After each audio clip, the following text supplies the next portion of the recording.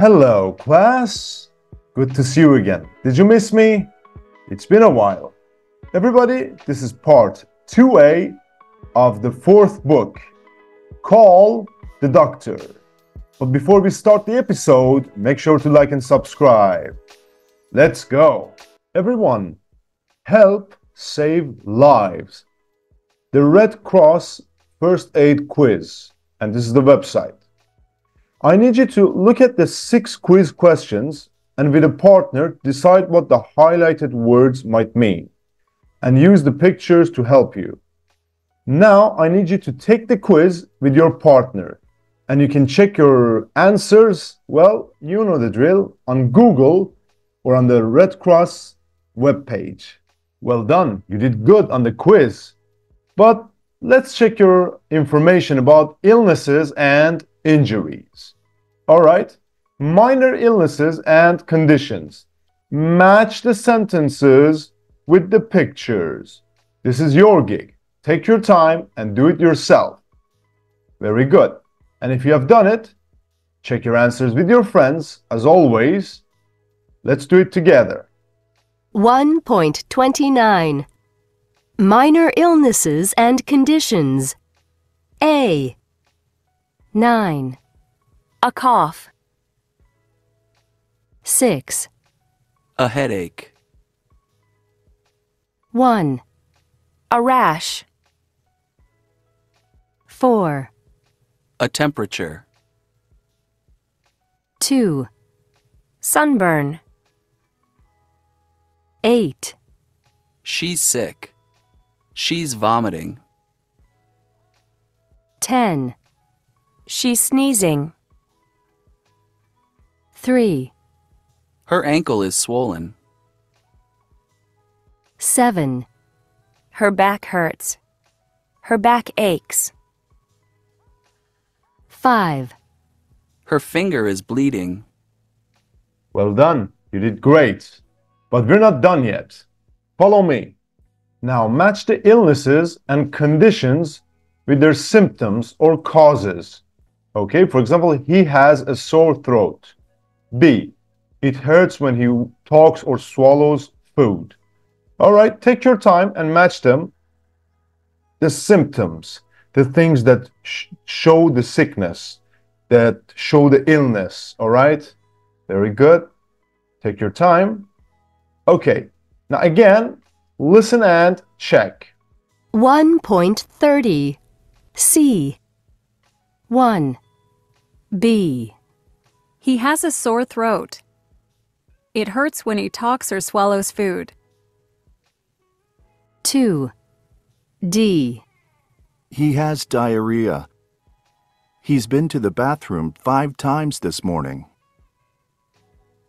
3 E He feels sick. He feels like he's going to vomit. 4 C He's fainted. It's so hot in the room that he's lost consciousness. 5 H He has a blister on his foot. He's been walking in uncomfortable shoes. 6 F He has a cold. He's sneezing a lot and he has a cough. 7 A He has the flu. He has a temperature and he aches all over. 8 G He feels dizzy. He feels that everything is spinning around.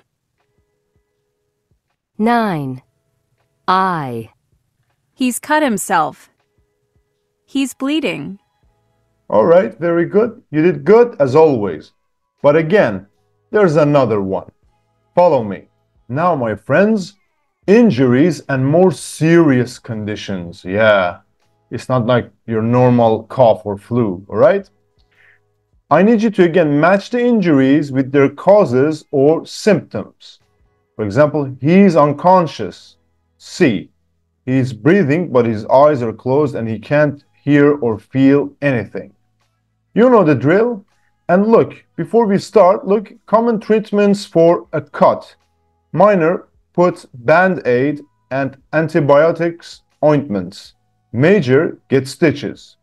Headaches, take painkillers. An infection, take antibiotics. A sprained ankle, put ice on it and bandage it. And an allergic reaction, take antihistamine tablets or apply cream. So we have some treatments as well. Sometimes your mama helps you with a headache, for example. All right, now I need you to take your time and match them. And if you have done it, all right, very good. Listen and check. Let's do it. 1.31 Injuries and more serious conditions. 1. C. He's unconscious. He's breathing, but his eyes are closed and he can't hear or feel anything. 2. G. He's had an allergic reaction. He was stung by a wasp and now he has a rash and has difficulty breathing. 3. B. He's twisted his ankle. He's sprained his ankle. He fell badly and now it's swollen. 4. D. He has high blood pressure. It's 180 over 140. 5. E. He has food poisoning. He ate some chicken that wasn't fully cooked. 6. F. He's choking. He was eating a steak and a piece got stuck in his throat. 7. A. He burned himself. He spilled some boiling water on himself. Well, God forbid if any of these happen to you, stay safe out there. Now, this is the last set in the vocabulary part. I know, I know it's getting boring. I know. This is the last set. Phrasal verbs connected with illness. All right? Match the bold phrasal verbs to their meanings. Okay? Let me read it for you. Please lie down on the table. I'm going to examine you. I'd been standing for such a long time that I passed out, and when I came around, I was lying on the floor. It usually takes a long time to get over the flu. A few minutes after drinking the liquid, I had to run to the bathroom to throw up. All right.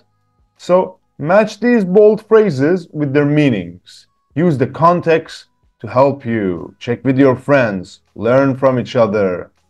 Now listen and check. 1.32 Phrasal verbs connected with illness. 1, Pass out means faint. 2, Lie down means put your body in a horizontal position. 3, Throw up means vomit, be sick. 4, Get over means get better, recover from something. 5, Come around means become conscious again. All right, very good, everyone. You did great. Let's move on. Everyone, read these words with me sh, shower, short, dishwasher, selfish, cash, sugar, sure, machine, chef, ambitious, explanation, spacious, sociable, j, jazz, jealous, just, generous, manager, bridge, judge, ch, chess, change, cheat, watch, match, picture, future, k, key, court, script, kind, kick, track, lucky, chemistry, school, stomach, squid, account. All right. You can practice them as much as possible because we have some business to do. Follow me. Now that you know, I need you to put these in here. Take your time. Stop the video and do it. And if you have done it, listen and check with me. Let's go. 1.33 shower, sh, pressure, rash, unconscious, jazz, j, allergy, bandage, chess, ch, choking, temperature, key, k, ache, ankle, stomach. All right, and that's all there is to it. Practice them, and let me tell you, you don't need to memorize anything. Just try to make sentences with these words. Use them. That's better. Now it's getting interesting, and as you can see, I have my own headphones on as well. Look at some more words related to illness and injury. Which ones are similar in your language? Do you know what the other ones mean? All right. Now, here are some of them, and I want to listen with you because I may not be as good as you, even. All right. So, listen and practice saying these words. Let's do it. 1.34 Antibiotics. Symptom. Medicine. Emergency. Operation. Aspirin. Specialist. Acetaminophen. X ray. Cholesterol. Injection. CAT scan. And as I told you, some of them are actually in your language, but the pronunciation may be different. Try to practice saying them in English. You did great. All right, everyone. After all that, it's time to talk. Ask and answer the questions with a partner. Number one, what injuries or illnesses could you get when you are cooking, when you are playing sports, or when you are eating in a restaurant? Have you have any of these things ever happened to you? All right? Number 2. Have you ever been in a situation where you had to give first aid? Who to? Why? What happened? How much do you know about first aid? Where did you learn it? Has anyone ever had to give you first aid? What happened? Number 3. What do you think you should do if someone has a very high temperature, someone is stung by a wasp and has an allergic reaction, and or someone has very bad sunburn. All right, what do you do in these situations? I need you to speak with your friends and compare your answers, share your experiences. Who knows? Maybe one day you have to save a life. All the way to grammar. You made it so far. Impressive work. Everybody, I need you to listen to a conversation between a doctor and a patient. What symptoms does the patient have and what does the doctor suggest? Okay? So I need you to listen and answer these questions. Let's go. 1.35 Good morning, Mr. Blaine. What's the problem? I haven't been feeling well for a few days. I keep getting headaches, and I've been coughing a lot too. And I have a temperature. Have you been taking anything for the headaches? Yes, acetaminophen. But it doesn't really help. I read on the internet that headaches can be the first symptom of a brain tumor.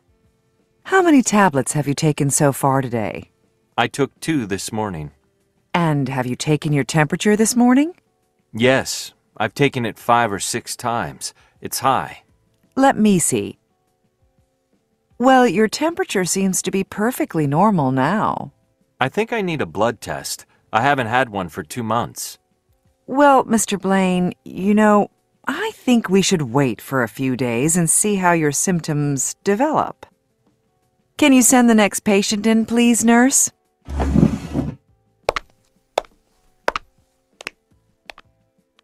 All right, very good. So check your answers with your friends.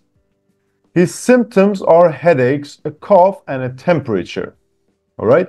The doctor suggests he should wait a few days to see how his symptoms develop because the man asked for a blood test, but the, the doctor refused. Well, it's the reverse these days. When you go into a hospital first, they take your blood, they do the tests because they need the money, money, if you know what I mean. All right. I'm just joking. I have deep respect for doctors, nurses, and the people who treat us. They are the heroes. Now, I need you to listen again and fill in the blanks with a verb in the present perfect simple or present perfect continuous. Let's do it. 1.35 Good morning, Mr. Blaine. What's the problem? I haven't been feeling well for a few days. I keep getting headaches, and I've been coughing a lot too. And I have a temperature. Have you been taking anything for the headaches? Yes, acetaminophen. But it doesn't really help. I read on the internet that headaches can be the first symptom of a brain tumor. How many tablets have you taken so far today? I took two this morning. And have you taken your temperature this morning? Yes, I've taken it five or six times. It's high. Let me see.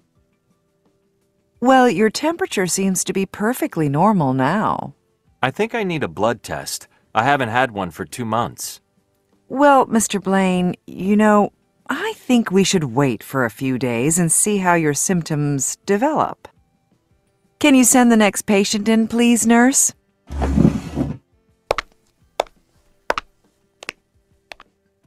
Well, you know, in these cases, oh, I think I have a tumor. Oh, maybe it's the symptom. Maybe it's cancer. This is hysteria, being afraid and just making things up in your brain.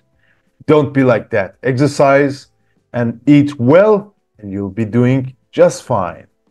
All right, now I need you to listen to what the doctor and nurse say after Mr. Blaine has left. What do they think of him? All right, so listen, they are talking. What do they think of him? Right, let's go.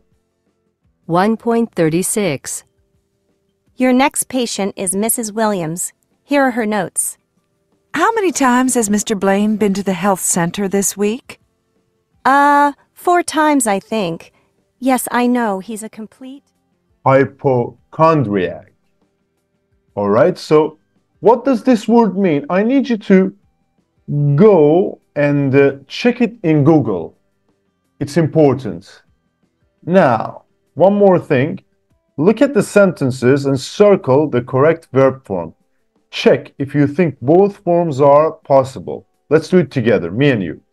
Have you been taking anything for the headaches? Have you taken anything for the headaches? I think both of them are, yeah, correct. How many tablets have you been taking or taken? What is your answer? Well, it's taken. And follow me, I'll explain it to you completely. And I mean completely. Ladies and gentlemen, present perfect simple and continuous. All right, listen first. 1.37 1, Have you ever written a blog? 2, We've landed, but we haven't gotten off the plane yet. I've already told you three times. 3, It's the best book I've ever read. 4, I've known Keiko since I was a child. My sister has had the flu for 10 days now. 5, How many Patricia Cornwell novels have you read? They've seen each other twice this week. Now, this is what we call the present perfect simple. We use this mode to talk about past experiences when we don't say the exact time. So something happened in the past, but the time is not clear. Number two, with yet and already. Have you seen him yet? I've already done it three times. With superlatives and the first, second, last time, etc. Number four, with non-action verbs. Do you remember them? Verbs not usually used in the continuous form. For example, be, have, know, like, etc. To say that something started in the past and is still true now. This is common with time expressions like how long, for, or since, all day, evening, etc. And one more thing, don't use the simple present or continuous in this situation. You can't say, I know Kiko, since I was a child. Okay, it's not true. And one last thing, when we say or ask how much or how many we have done or how often we have done something up to now. All right, we covered the present perfect simple, but we need to cover the next one, the continuous form. Follow me, there's more. Now, as for present perfect continuous, have or has plus been plus verb plus ing. Oh, it's boring. But first listen, I will explain it little by little. All right, let's go. 1.38 1. How long have you been feeling sick? He's been chatting online all evening. 2. I haven't been sleeping well. It's been raining all day. 3. I've been shopping all morning. I'm exhausted. Take your shoes off. They're filthy. Yes, I know. I've been working in the yard. Okay, very good. So we use the present perfect continuous in these situations. One, with action verbs to say that an action started in the past and is still happening now. This use is common with time expressions like how long, for or since, all day, evening, etc. And don't use simple present or continuous in this situation. You can't say, I know Kiko since I was a child. Again, that's the system. For repeated actions, especially with a time expression, all day, recently, all right? And for continuous action that have just finished but that have present results, there are some results present, okay? And one more thing, yeah, listen to this part as well. 1.39 1. I've been learning French for the last three years. He's liked classical music since he was a teenager. 2. She's been having a good time at school. They've had that car for at least 10 years. 3. We've lived in this town since 1980.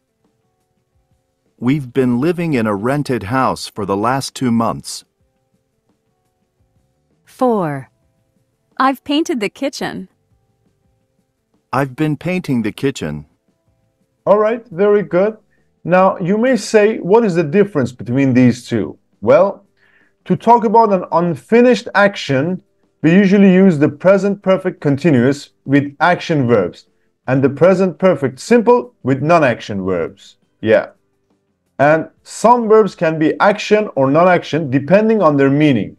For example, have a good time, it's action. Have a car, it's non-action. And as for the third part, with the verbs like live or work, you can often use the present perfect, simple or continuous. However, we usually use the present perfect continuous for shorter, much temporary actions. And the last one, the present perfect simple emphasizes the completion of an action. The kitchen has been painted. The present perfect continuous emphasizes the duration of an action that may or may not be finished. The painting of the kitchen may not be finished yet. So, with the present perfect simple, something happened in the past, all right? We don't know what when it happened, but with present perfect continuous, it's like this. Something started in the past. The exact time we don't know. Continued, it may be finished, but there are some results, or it may continue.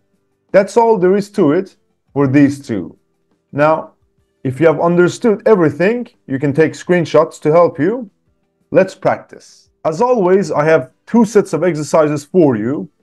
In the first one, I need you to circle the correct form of the verb and check if both of them are possible. And in the second one, I need you to complete the sentences with the best form of the verb in parentheses.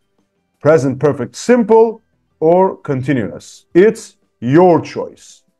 As always, I need you to stop the video, take your time and do it yourself.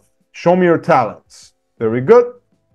Now, if you have done it, check it with your friends, learn from each other, and it's my turn. Very good.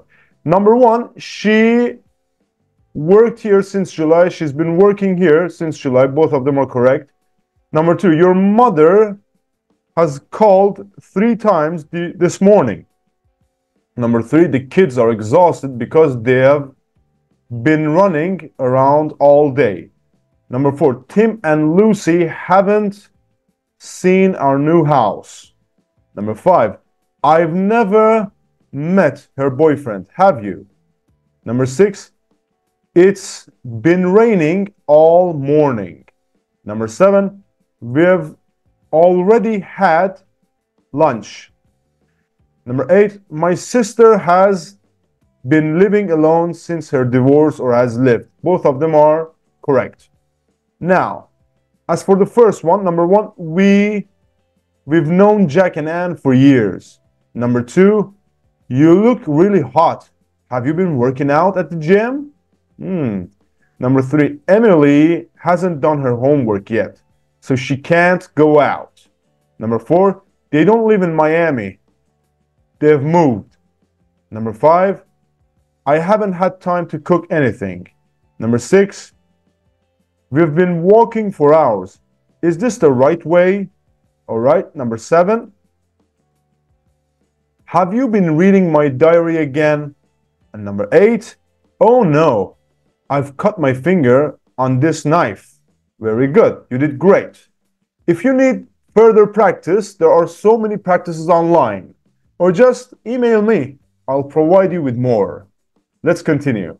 Great, you made it so far. Now look at numbers 1 to 8. Very good, very nice. With your friends, I need you to form questions. Take your time and do it.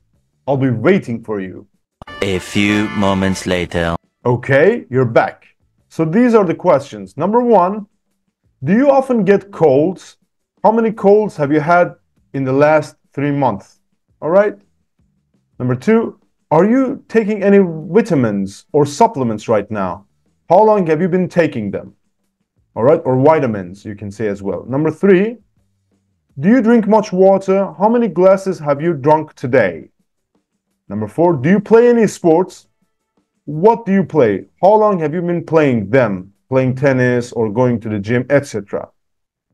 Number five, do you eat a lot of fruit and vegetables? How many servings have you had today? Number six, do you walk to school or work? Or how far have you walked today? For example, I have this smartwatch, which tells me all about it. So you can use the same technique. Number seven, how many hours do you sleep at night? Have you been sleeping well recently? And number eight, are you allergic to anything? Have you ever had a serious allergic reaction? All right, I need you to write your answers to these questions. Very good. And I need you to speak with your friends. Compare your answers. Share your ideas. Very good. Everyone, it's time for some writing. An informal email. Look, beginning an informal email. When you're writing an informal email, it is more usual to start with hi than with dear. Okay, so that's very important. Now read the email from Anna. All right, you see, take care, Anna. It has 12 highlighted mistakes.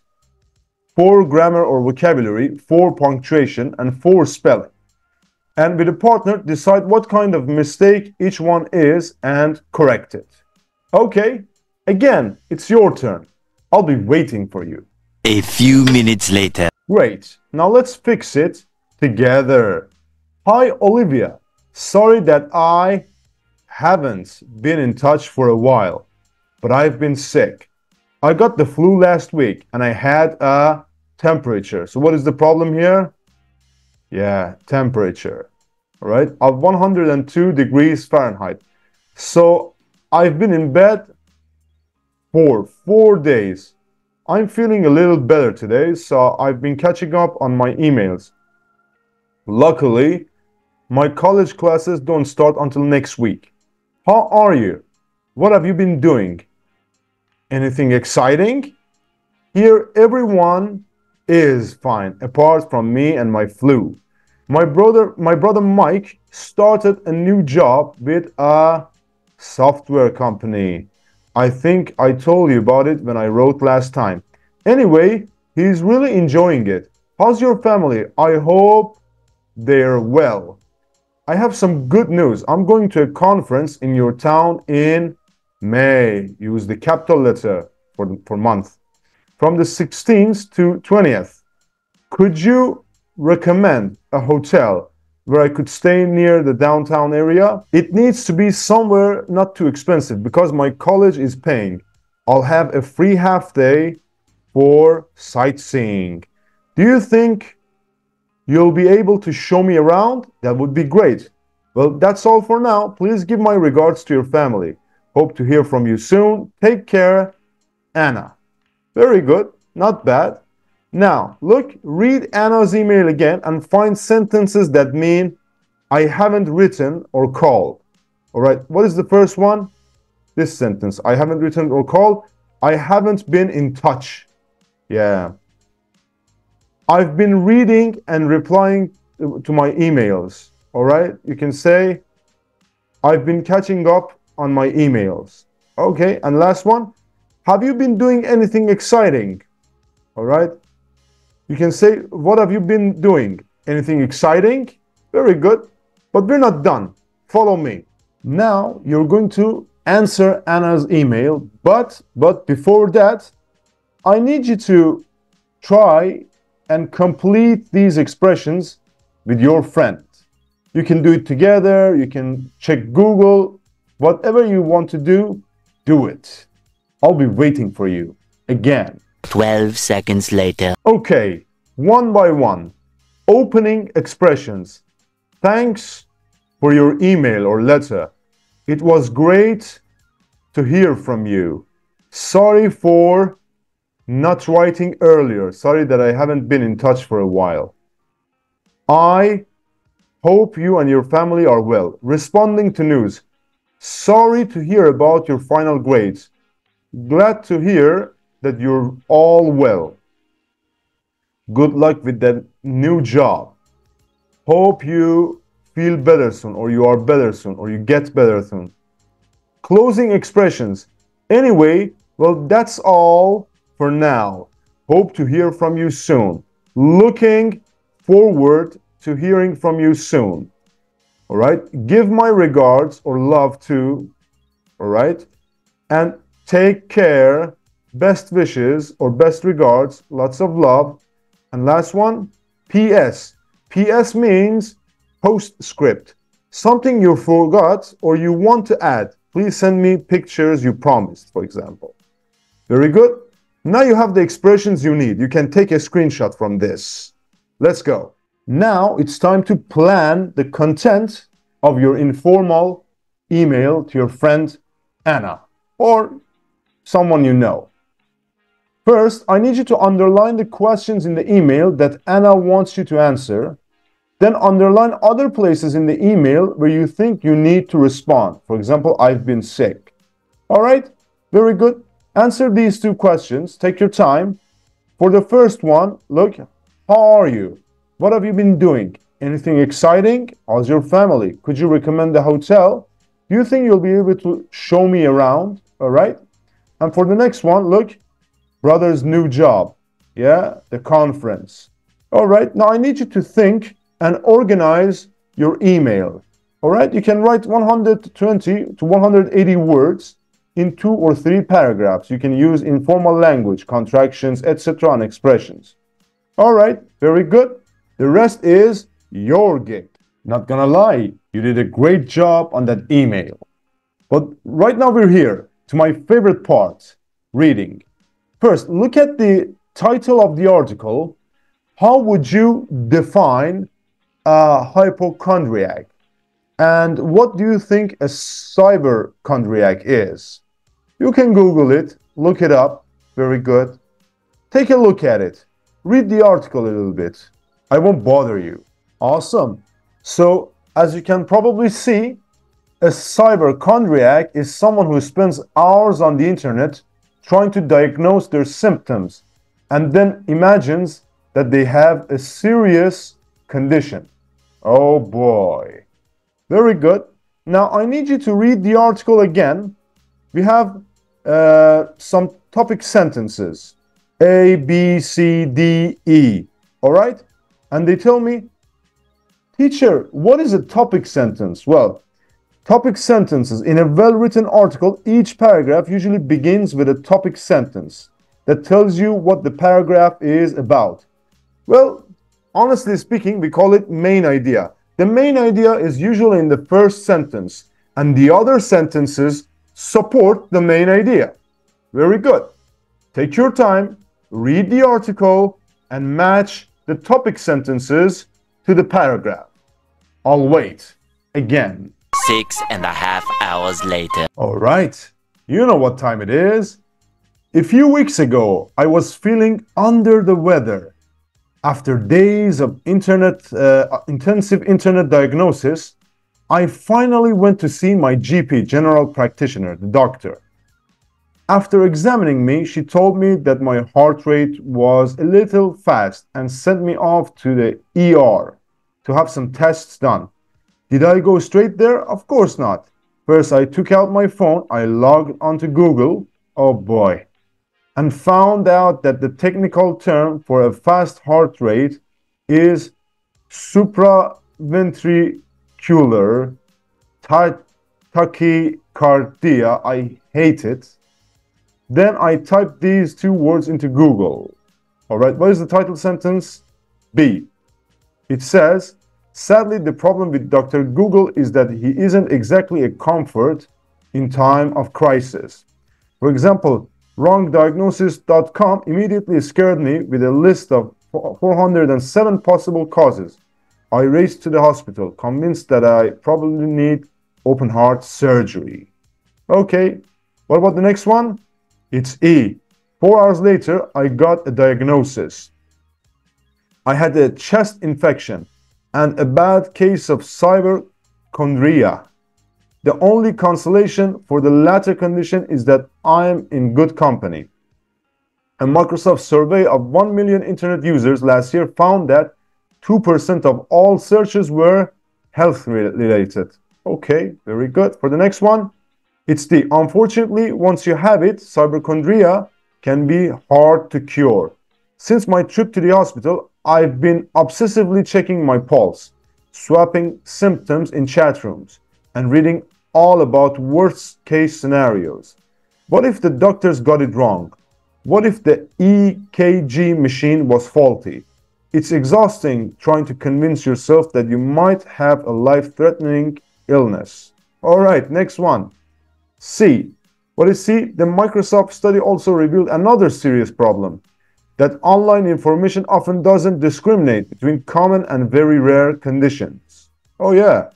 One of one in four of all articles thrown up by an internet search for headache suggested a brain tumor as a possible cause. Although it is uh, true that this may be the cause, in fact, brain tumors develop in fewer than 1 in 50,000 people. People also assume that the first answers to come up in searches refer to the most common causes. So if you type in mouth ulcer and see that mouth cancer has several mentions near the top, you must think uh, it must be very common. However, this is not the case. All right, and the last paragraph A. Another problem for cyberchondriacs is that online medical information may be from an unreliable source or be out of date. A recent study showed that 75% of the people who use the internet to look up information about their health do not check where the information came from or the date it was created. Once something has been put up on the internet, even if it's wrong, it's difficult to remove, says Sarah Jarvis, a doctor. This is a problem, especially with scare stories and also with some alternative remedies that claim to be miracle cures. But that may actually do you harm. Check the information. Sorry, I don't have time. I'm off to buy a heart rate monitor. Oh boy. Exhausting, isn't it? Very good. You did great. Now, everyone, there are some highlighted words. I need you to take your time and match them with their definitions from 1 to 11. You've got some matching to do. Tomorrow. Okay, everyone. Now listen and check. It's my turn. 1.40. 1, Life threatening. 2, Mouth ulcer. 3, Alternative remedies. 4, Under the weather. 5, Cancer. 6, Infection. 7, Heart rate. 8, Surgery. 9, Pulse. 10, Tumor. 11, Miracle cures. Well done. Very good. But I'm not done with you. You need to read it one more time. I'll explain why. I know. I know. Okay? Very good. Just read it one more time and choose the right answer A, B, or C. Last exercise in this reading. I promise. Day 2. I know, I know. Don't be mad at me. All right. Number one, the first thing the journalist did after leaving her GP was, well, find out what her condition was called on her phone. All right. After realizing that she was a cyberchondriac, she worried just as much as before.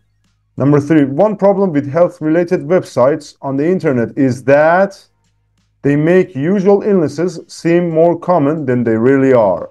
And the last question another problem with these websites is that the information may be may not be right maybe it's out of date or the source is not reliable.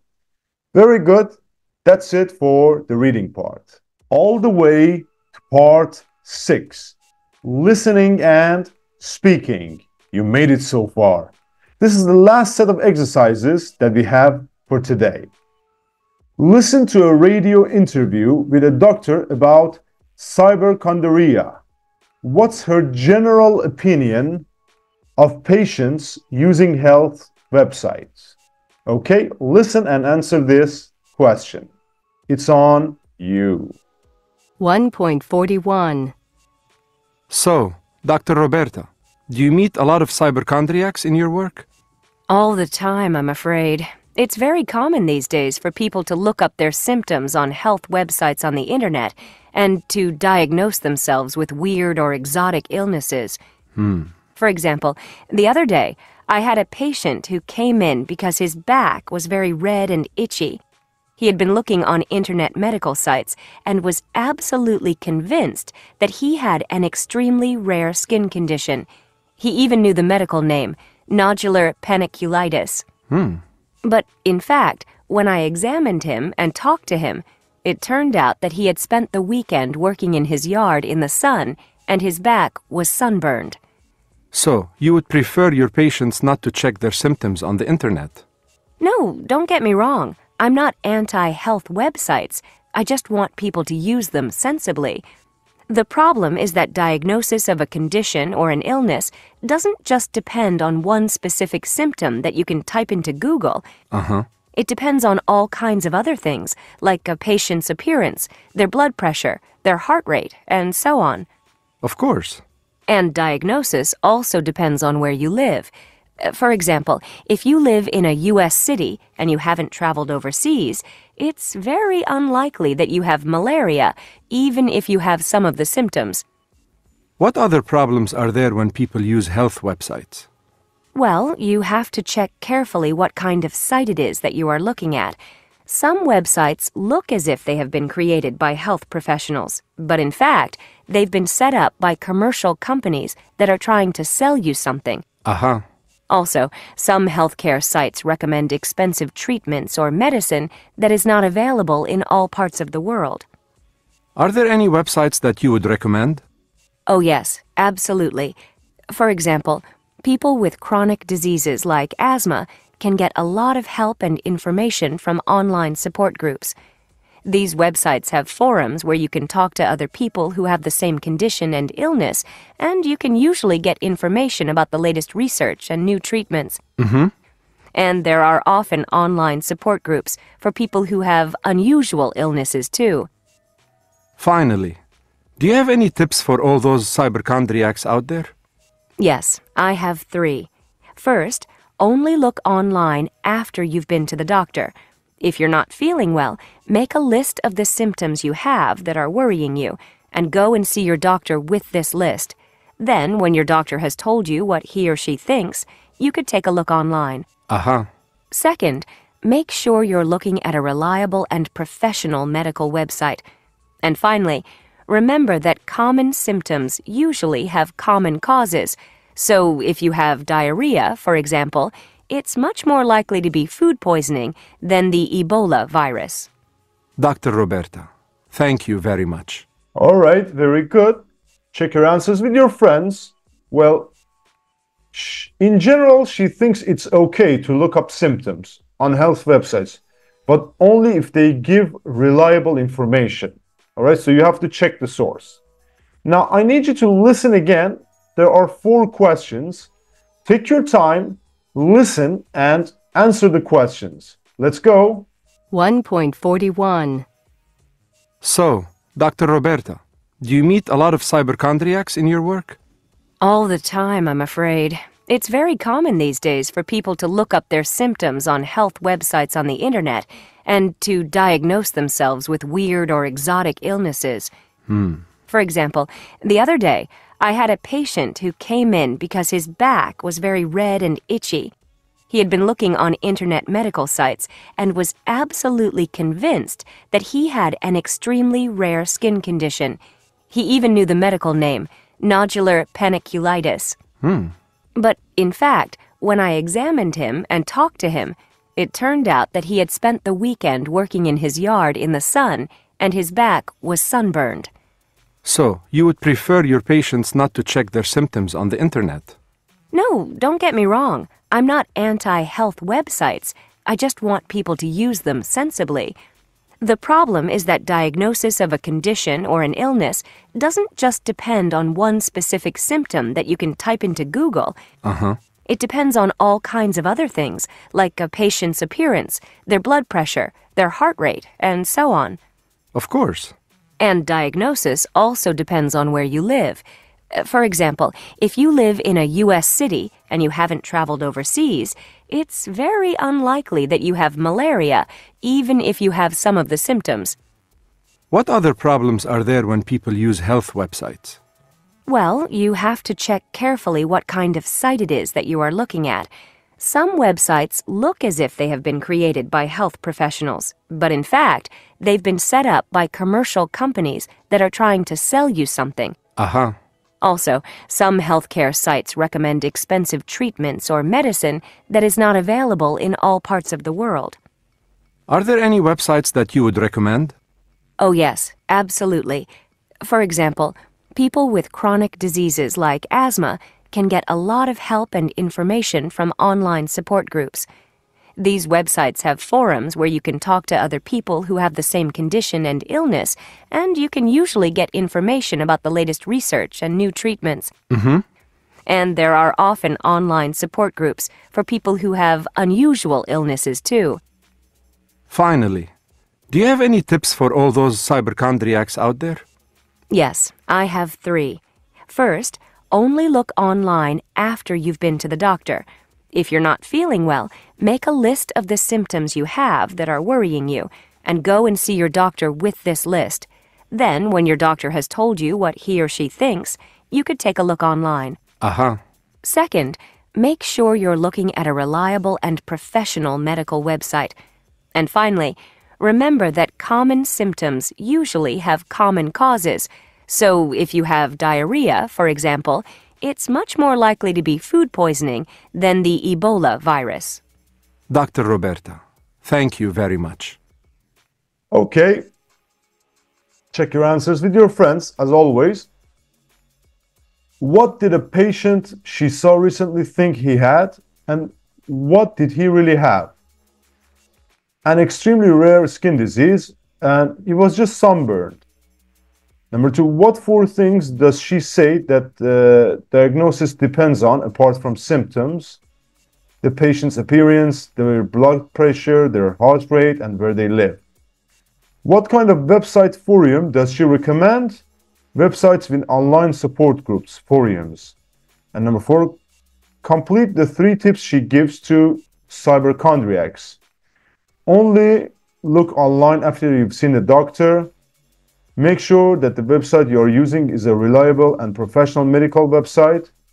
And remember that common symptoms usually have common causes. Now let's speak a little bit, shall we? Okay, let's wrap this up. With a partner or in small groups, answer the questions. Ask for and give as much information as possible. You know the drill, so let's read the questions together. Which of the doctor's three tips do you think is the most important? Number two, how often do you look up information about health and illness on the internet? What websites do you usually go to? How useful is the information? Number three, do you know anyone who you think is a hypochondriac or cyberchondriac? Do you think people in your country worry a lot about their blood pressure, their cholesterol level, their eyesight? And do they uh, worry about anything else related to health? All right. Speak with your friends. Exchange your ideas. This is your gig. And that's the practice for today. Everybody, as always, if you haven't liked and subscribed, bless us. Come on. And at the same time, if you have a question, you can comment down below and I will get back to you. As you probably know, and I've mentioned it before, we have started membership programs. So if you want to support my project, you can become a member for a feasible fee and uh, you can enjoy the perks of my work. Thank you very much. I will teach you as long as I breathe. That's a promise. Bye bye.